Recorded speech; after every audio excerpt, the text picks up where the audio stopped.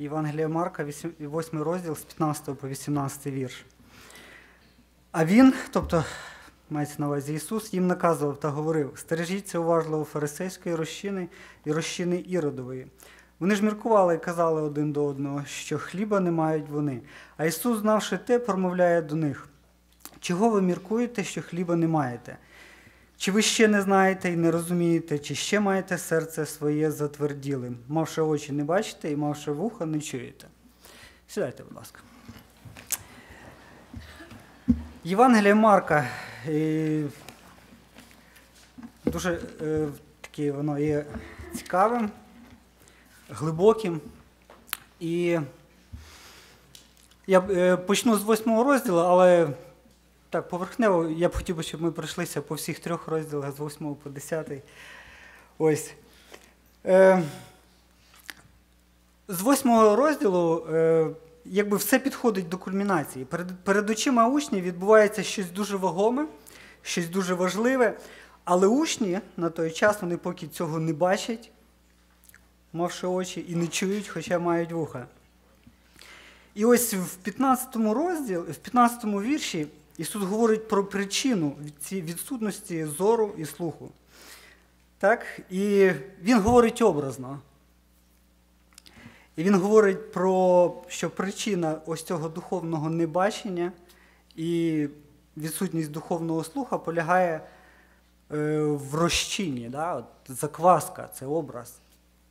І я думаю, ну, більшість з нас ми знаємо, що таке закваска, так? що таке розчина. Якщо осучаснити, да, то ну, це є дріжджі. Ось, Господарки вони краще знають, так? Тобто дріжджі вони кидаються в перший, в певний заміс, і цей заміс він е, збільшується, він набирає певну форму, е, певний смак. Ось це, Якщо розчина знаходиться в певному благоприємному середовищі, вона завжди бурлить, вона завжди росте, тобто вона не стоїть на місці. І ось е, Христос, образно виражаючись, каже до учнів, він тут говорить про е, двойну таку, двойне застереження. Стережіться уважливо, це щось дуже важливе, так? Що таке е, розчина фарисейська і розчина Іродова? Ось. Це, Про це дуже важливо знати. До речі, 9, 8, 9, 10 розділ, він по-різному розкриває ось цю проблему.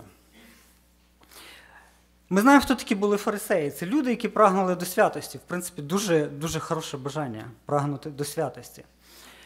Е, вони ретельно виконували закон. Але чомусь ця ретельність зачасту була е, така. Вони брали другорядні речі, піднімали їх дуже високо, виконували це, а ось головне мали таку тенденцію залишити в стороні. Їхня духовність завжди була дискримінаційна, осуджуюча. Ось. Є такий вираз і в богослів'ї, і в психології легалізм. Да? От Що таке легалізм?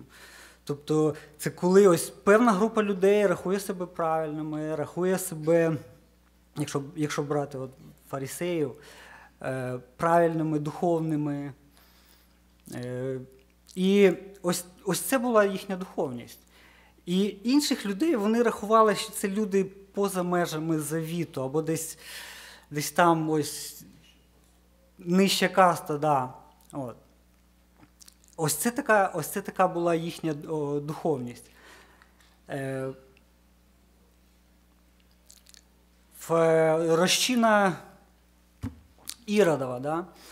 Якщо дивитися на династію Іродів, Починаючи від Ірода Великого, його син, внук це люди, які дуже переживали за владу. Це, люди, які е, мали певну владу, неповноту влади вони мали в юдеї, але вони мали певну владу і вони дуже боялися її втратити. Дуже багато всередині самої династії було, була боротьба за владу. Ірод Великий навіть вбивав своїх синів, він не хотів, щоб вони потім виросли і стали його конкурентами. Ось, Ця влад, владу вони тримали е, завдяки страху, завдяки погрозам, при, при придушенням. Ось. І якщо е, ось так уже подивитися, що і фарисеї, і прихильники Ірода, вони ворогували між собою за владу. Ось. Це було це було два такі ворогуючі крила. Ось. Що приносить влада, так? Визнання. Що ще приносить влада? Певні, певні фінансові бенефіти, так? самоствердження і так далі. І ось що говорить Христос своїм учням, що якщо ви хочете йти за мною, Він говорить до своїх учнів, то стережіться ось цієї цієї закваски, да, ось цієї розчини. Ця розчина закриє вам очі на істинне бачення, хто такий Месія, і на істинне бачення, що значить слідувати за Месією. Восьмий, дев'ятий, десятий розділ я б я б назвав би їх так, що це тринистий шлях до пізнання істинної слави, величі і прийняття. Ось. Певна схема повторюється три рази. Христос говорить про свої неймовірні страждання, про свою смерть на Голговському хресті, і учні його не розуміють. Перший раз е, про свою смерть і про своє страждання Христос заявляє е, в місті.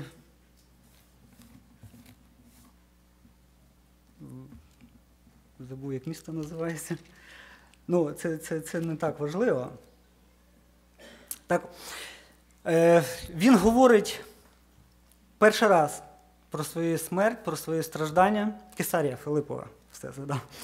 І учні устами Петра, і потім запитує Христос, за кого мене люди вважають. Да? І коли ще люди вагалися, хто такий Христос, одні казали пророк, другі казали.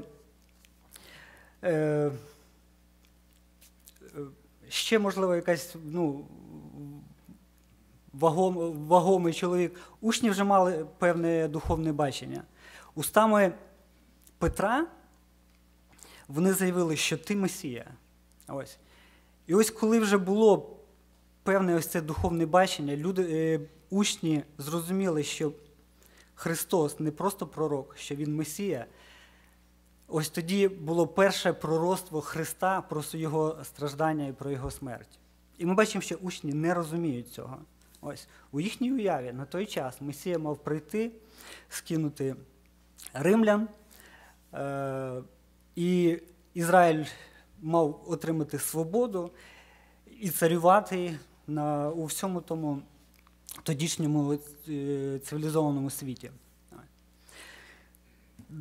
Дев'ятий розділ, дев'ятий розділ, до речі, починається з гори переображення. Христос показує учням свою славу, неземну, небесну. Він отримує визнання від е, Мойсея і Іллі. Ось і учні, три учні це це, це бачать. Ось. Але потім він знову сходить з гори і другий раз говорить про свої про свої страждання і про свою смерть. І от що цікаво, дев'ятий розділ. 31 вірш, бо він своїх учнів навчав і казав, 31 вірш, 9 розділ. Людський син буде виданий людям до руки, вони його вб'ють, але вбити він воскресне третього дня. Вони ж не розуміли цього слова. І от цікаво, що вони йдуть, це було в Галілеї, в Галілеї вони з Галілеї йдуть в Капернаум, і Христос задає питання. А ось після того, як я вам розказав про свої страждання про свою смерть, про що ви думали в дорозі? Да? Про що учні думали в дорозі? Про, про те, як послужити один одному, так? про те, як принизиться один перед одним, чи ні? Хто вищий, так. Розумієте, яка контрастність, да? З однієї сторони, Мосія говорить, що він іде страждати і померти, а з другого боку, учні, не розуміючи цього, да, ось ця розчина, вона вона бурлить у них всередині, в серці, так, і вони думають лише про одне, хто із них буде більше. От от, от Месія на дорозі в Єрусалим, він прийде, сяде на трон. Хто буде там прем'єр-міністром, да, хто міністром фінансів? Іуда, мабуть, хотів бути міністром фінансів. І Христос каже, ні-ні-ні. ні І що, що робить Христос? Він бере дитину, ставить її посередині учні, е, посеред учнів і обнімає цю дитину, і приймає. Ось перший крок до істинної величі. Ось. Коли між учнями всередині існувала певна конкуренція, дільошка місць і портфелів, Христос каже, ні, це не крок до, до величі. Перший крок до величі це в прийнятті. Це відкрити серце людям, тим, які, можливо, от діти. Да? Чому діти? Чому Христос взяв саме дітей? Що дитина ще нічого не досягла, вона ще багато чого не вміє. Дитина, вона навіть не може ще в повній мірі усвідомити все те добро, яке їй зробили. І Христос обнімає, це його природа. І Він каже, показує всім нам, що ось це перший крок до істинної величі людської, це прийняття і служіння. В третій, раз, в 10 розділі, так само в 32 вірші, Христос ще раз говорить про свої страждання і про свою смерть. І він це все вже говорить в подробицях, як погани його оплюють, як він буде побитий. Він е, робить таку ссылку на 53 розділ книгу пророка Ісаю. Він каже, і він показує, що я ось цей страдаючий раб, я ось цей страдаючий слуга, я прийшов служити, залишивши небо, залишивши велич, служить для вам, для вас, для людей. І цікаво знову, як закінчується це пророцтво. Да? Два учні, е, Іван і Яків, які, до речі, були на горі переображення, вони відзивають Христа в сторону. І що вони в нього просять? Ну, ми хочемо по ліву і по праву сторону сісти біля тебе. Да? І це явно не було, знаєте, така ревність по Божій славі. Да? Тобто вони хотіли визнання серед людей бути по праворуч, праворуч і ліворуч від Месії. Ось. Е, Знову ж таки, Христос, от, що цікаво, як він ще працює з учнями. Да? Він, знаєте, не як якийсь бос, не як якийсь там, знаєте, вчитель такий а, по психології чи там по, по богословію, да? не сидить і не дорікає їм, він їх учить. Вони неправильно розуміють, він учить з любов'ю, з ніжністю, з лагідністю. Да? І третій раз, уже коли він говорить про своє страждання і про свою смерть, і учні цього не розуміють, він ще раз і ще раз наголошує про те, е, що значить істина велич і істина слава в очах, Божих, в очах Божих. 42 вірш, 10 розділ. А Ісус покликав і промовив до них: Ви знаєте, що ті, що вважають себе за князів у народів, панують над ними, а їхні вельможі їх тиснуть. Не так буде нехай між вами, але хто з вас великим хоче бути, нехай буде він вам за слугу. А хто з вас бути першим бажає, нехай буде всім за раба. Ось істина велич. І сам Христос показав, наскільки величний це був подвиг, тому що Бог, богів, цар над царями. Син, е, син Божий, син людський, якому належало все. Слава, велич, визнання, прийшов на грішну землю для того, щоб послужити людям, для того, щоб падше своє творіння повернути в славу Божу. Е, Чи можемо якісь паралелі провести до, до нашого сьогодення? Чи можемо ми щось порозважати на рахунок ось цієї закваски, розчини, так? Чи є вона присутня в нашому житті? Ось це дуже важливо, дуже важливо да, е, практично е, бачити в своєму житті, розважати е, в практичному сьогоденні на біблійські істини. Щоб це, знаєте, біблійна істина, біблійна догма, вона не залишалась тільки на рівні інтелекту. Якщо говорити про практичне примінення ось цієї істини, що істина велич, істина слава, істинне визнання, воно в прийнятті і в служінні, а не в тому, щоб люди про мене високо думали. Звичайно, ми повинні розуміти, що ось цей гріховний ось цей початок наш Адамівський, він диктує нам ось це. І він, на жаль, є присутній в кожному із нас. Е, в першому Коринтян, 5 розділ, 7 вірш.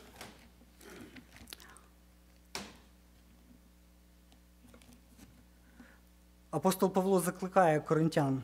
Отож, очисьте стару зрощину, щоб стати вам новим тістом, бо ви прісні, бо наша Пасха Христос за нас у жертву принесений.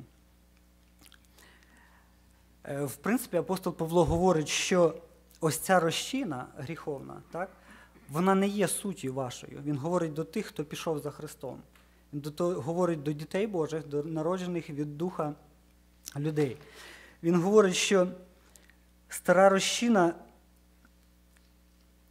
вона не є вашою ідентичністю, вашою суттю, вашою природою. Ви не повинні себе думати, що ви є повністю в цій розчині. Ви діти Божі, і він і він закликає, але очисьте себе від старої розчини. Тобто це це відповідальність дитини Божої. Очищати себе від від, від, всякої духов, від всякої гріховної розчини. І далі він говорить твердження, бо ви прісні, бо наша Пасха Христос за нас у жертву принесений. Ось ідентичність наша, ось природа наша. Вона не є гріховна, вона є народжена. Ось. Але але разом з тим Христос, е, апостол Павло закликає очищати себе. А Христос говорить, я ще раз зачитаю це місце, з якого я починав. Христос говорить, стережіться уважливо ось цієї фарисейської розчини. Да? Стережіться уважливо, очистьте себе.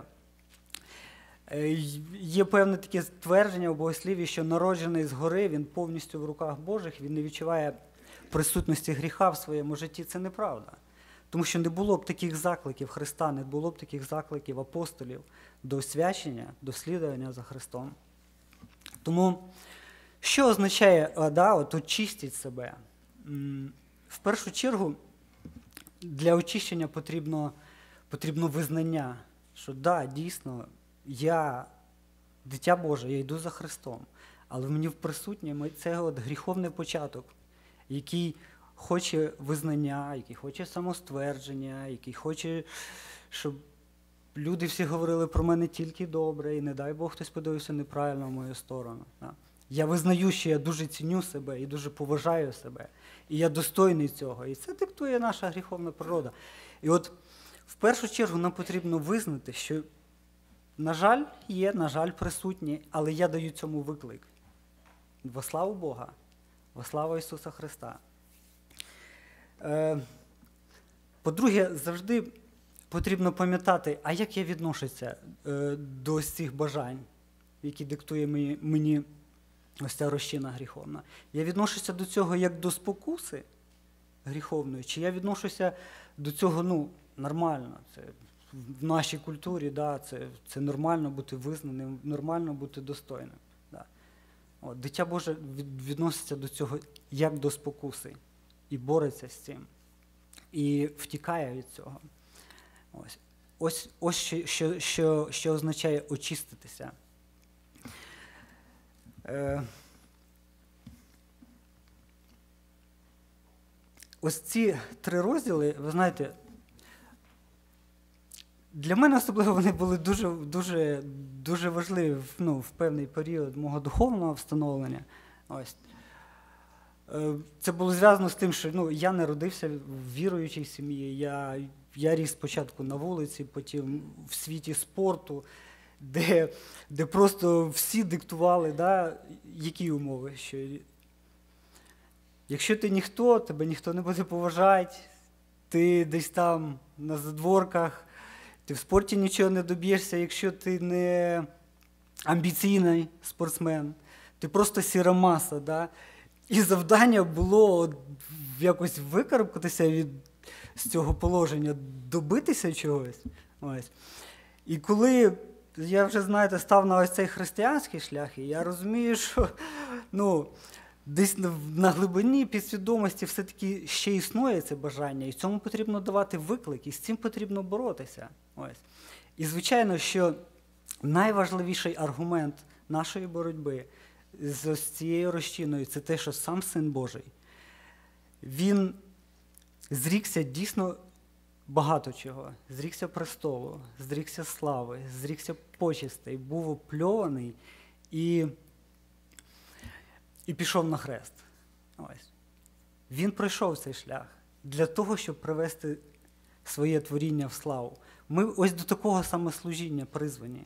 Призвані приймати, призвані служити, не прислуговувати, а служити.